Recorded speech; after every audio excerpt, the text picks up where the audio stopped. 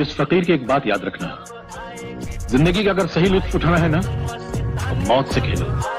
सुख में हँसते हो तो दुख में कह लगाओ। ज़िंदगी का अंदाज बदल जाएगा। बेटे, ज़िंदा है वो लोग जो मौत से टकराते हैं।